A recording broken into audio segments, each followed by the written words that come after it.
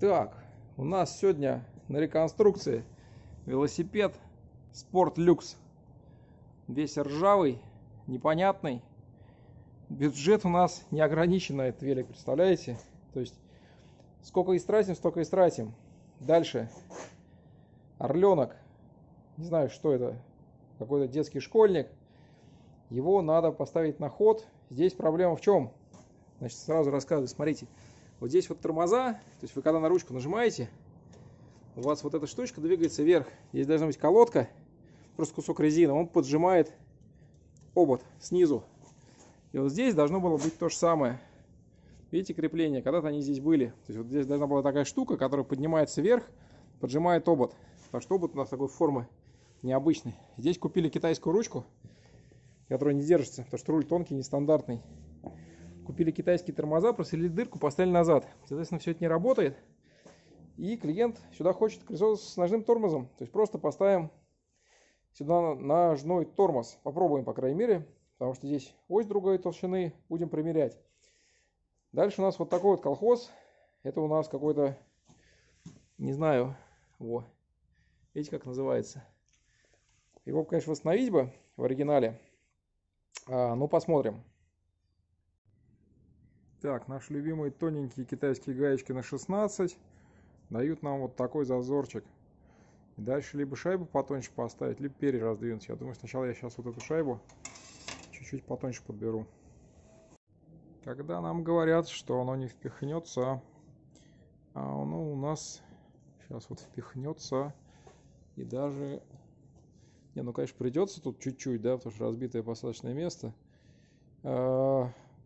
Я не знаю, миллиметр, полмиллиметра, полмиллиметра проточу и будет все ништяк. Можете начинать говорить, что так делать нельзя. Точить дропауты.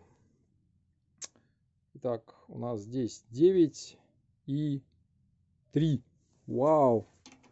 А здесь у нас, хоба, здесь у нас 8 и 5. То есть на 0,8 миллиметра я его расточил я совершил кощунство.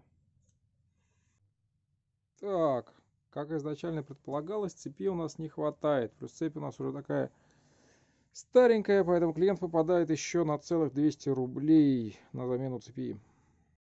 Так ну судя по тому колхозу что здесь у нас скотч намотан это походу я колхозил год или два назад.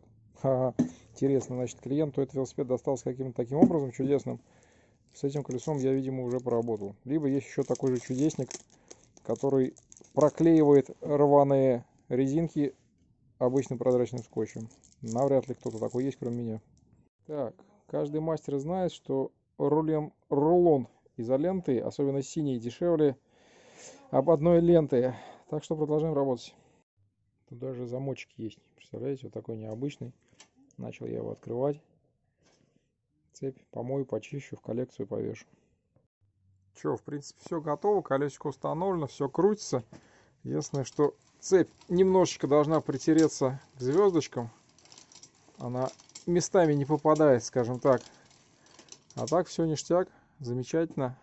Сейчас еще рулевую поправлю. И надо, конечно, мастера новые колеса это просто крутота. Смотрите, да, новые колеса вот так вот с заводика приходят хреновенькие. Приедет, протянет, сделает.